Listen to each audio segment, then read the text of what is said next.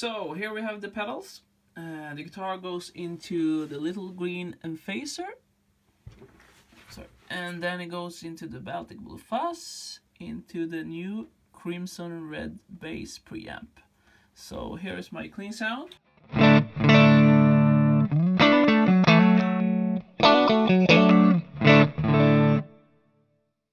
And little green Emphaser.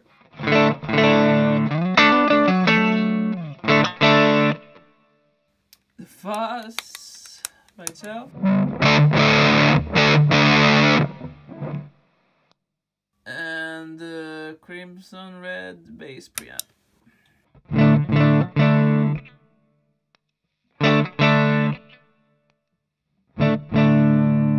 Together.